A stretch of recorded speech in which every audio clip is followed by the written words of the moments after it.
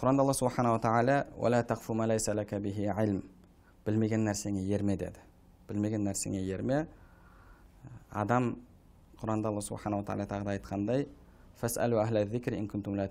білмесе білім иесінен сұрауы қажет білмесе білім иесінен сұрауы қажет білетін адамның міндеті білгенін үйрету білмейтін адамның міндетін алла тағала бізге баяндап беріп тұр білмесең білім иесінен сұра деді ал өзінше пәтуа беру бұл алланың алдында үлкен күнә пайғамбарымыз саллаллаху алейхи вассалам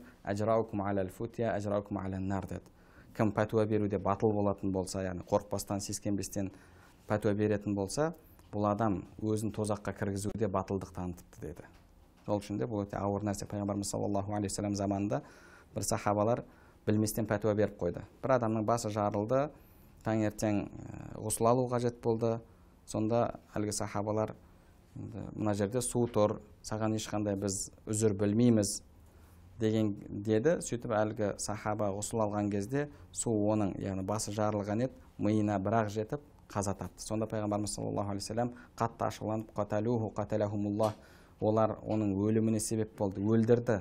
Алла оларды өлдірсін. Неге білмесе ә, сұрамады білімсіздіктің шипасы сұрау емес пе деп пайғамбарымыз саллаллаху айтқан еді. Сол үшін де адам өзінің жағдайын білуі қажет өзінің деңгейін білуі қажет және деңгейінен аспауы қажет. Бізде жалпы ғұламаларымызда мынандай бір сөз бар. Үш түрлі адам ә, кез келген елді мемлекетті мәдениетті құртады дейді. Бірі нисфу табиб бірі нисфу нахуи біреуі ә, нисфу муфти дейді. Яғни бірі ә, шала дәрігер шала дәрігер адамдардың денсаулығын құртады. Шала тіл маманы адамдардың тілін құртады. Үшіншісі шала молда ол адамдардың дінін құртады.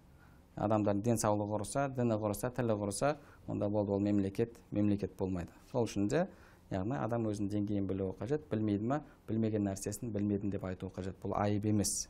Бұл айып емес. Және одан кейін ертең алланың алдында әрбір білмей сөйлеген сөздің күнәсі ауыр екендігін алланың алдында жауабы бар екендігін білу қажет.